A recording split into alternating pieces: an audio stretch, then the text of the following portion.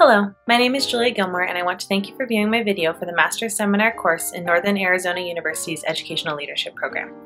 This video's purpose is to explain my career goals, experience, talents, skills, and knowledge of higher education.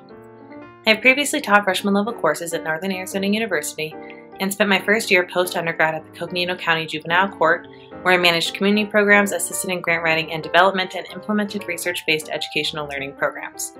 In addition, I teach American Red Cross courses to Flagstaff community members affiliated with a local university.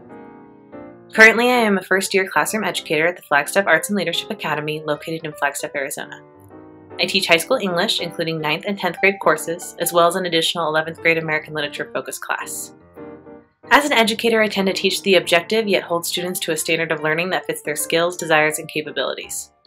Teaching to each student improves individual capability, and when surpassing those objectives, pride and accountability for that accomplishment. I also enjoy working with students who have a wide range of skill sets, academic comprehension levels, and learning and disabilities and capabilities.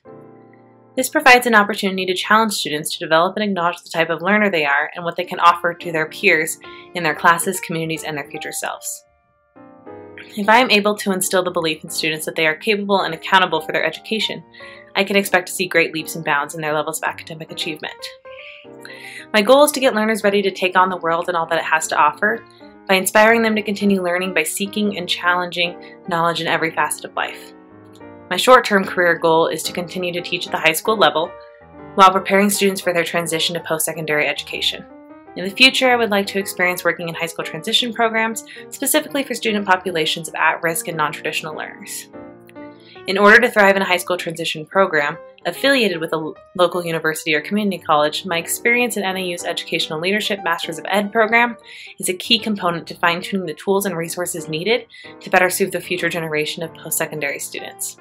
Thank you for viewing, and I hope you enjoy browsing my educational portfolio.